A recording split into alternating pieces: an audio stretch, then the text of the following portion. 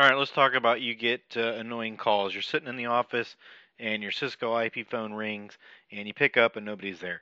And uh, this happens all day long and it drives you nuts. You want to block those annoying calls in the Cisco Call Manager.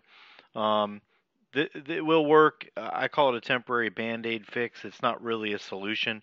Um, the, the reason why is typically the numbers will change, and if it is a telemarketer, they'll easily spoof their number. They'll give a fake callback number. Um, I've seen everything from, uh, you know, uh, IT department or, or something, but they're always changing their number, especially if it's an international call. It's easy to spoof a number. There's nothing that goes back from the telco and validates that the number being sent is actually a legitimate number.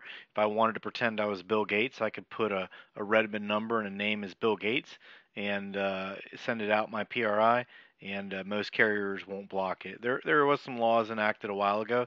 There's no real teeth, especially if they're coming from a Pakistan or, or India or a foreign country.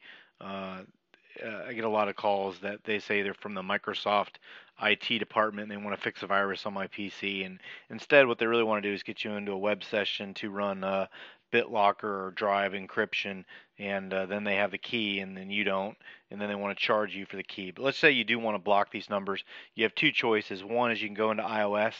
Uh, IOS is limited in the number of reject rules that it can create. Uh, it's limited to 100.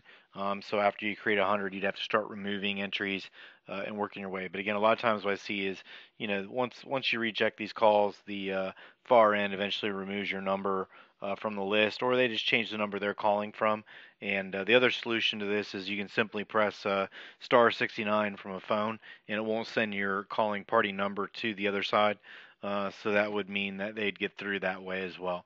Um, so here's the uh, configuration. I basically got a dial here.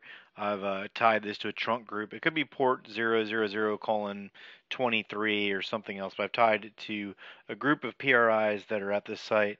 I've then created a translation profile called block numbers, uh, and then I put my uh, blocked uh, numbers uh, in here. So this is if you do a debug ISDN Q931, the calling party is the from you know where it's coming from, and the called is not affected in this case.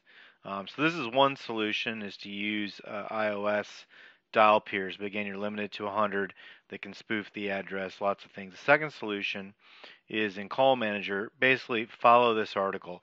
And you really need to test this. This is not something I would recommend. This is a high risk uh, solution. Uh, you mess up one little thing, you're not going to get calls in the site. And I'm not exactly certain, like CTI ports or CTI applications, if they're going to be happy with this. I haven't tested this with with uh, UCCX or Attendant Console. Um, but going by this article, you'd basically create some new partitions. Basically, you're going to route calls into a translation CSS that then routes calls to a CSS that actually has the phone. I call it a double hop.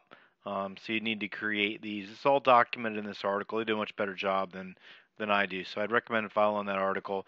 Uh, again, the key for anything is making test calls in the site, looking at your debug Q931s, uh, making certain you're not sending errors back. Um, and then uh, you'll have a translation list and this filter list that would basically block numbers.